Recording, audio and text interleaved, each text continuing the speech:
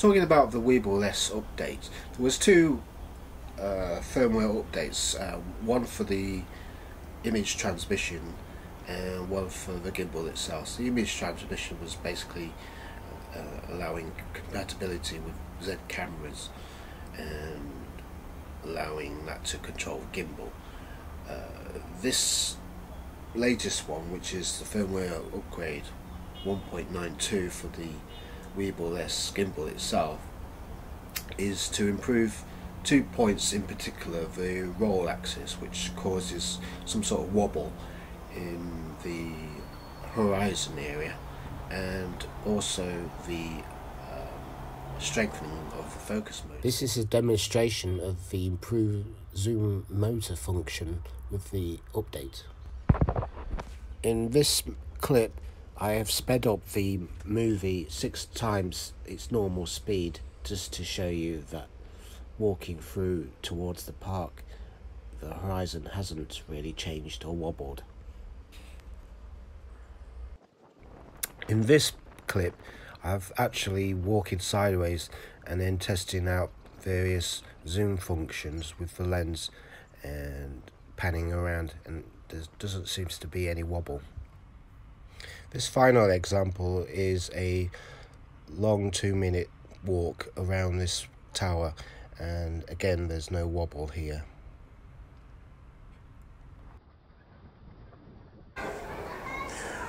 Alright, I'm here talking to you and hopefully I'm testing out this active tracking. As you can see, I'm going to put on the follow focus and see if I can uh, activate the zoom. If I just uh, move the zoom slightly forward, and it seems to be working. Um, pull it away. Uh, I think there's ways to slow down and speed up the zoom, but at the moment it's all a bit uh, fast for my liking. But never mind.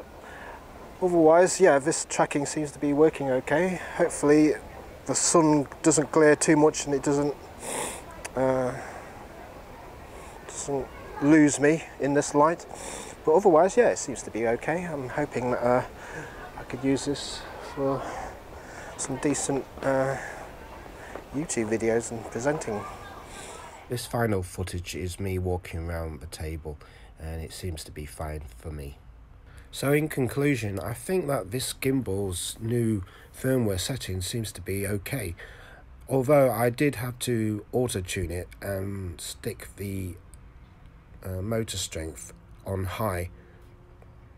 This is because my payload is about 1.5 kilos, which is a A7 III and a 24 to 240 millimeter zoom lens. I've also added custom values for the motor strength itself to accommodate for the dynamic zoom. I hope that this demonstration helps you to decide whether or not to update to the new 1.92 firmware.